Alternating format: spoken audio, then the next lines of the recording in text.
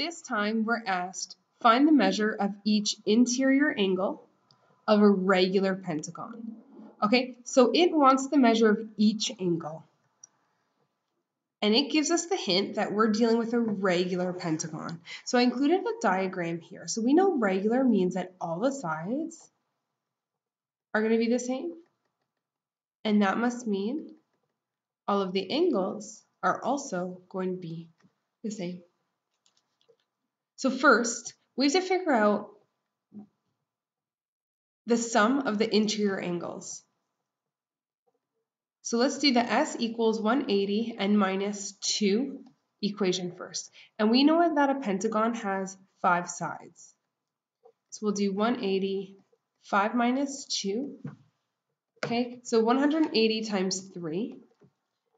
And when we calculate that, we get 540 degrees. So all of these angles here are going to add up to 540.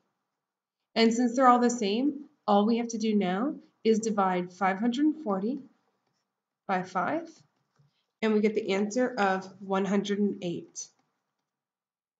So each interior angle will be 108 degrees. Very similar for the second one. So find the measure of each, each interior angle of a regular octagon. Okay, so again, regular octagon. Let's do S equals 180 and minus 2. And first we just have to find what all of the interior angles add up to. So we did this on the previous slide, 180 times 6, and we got 1080.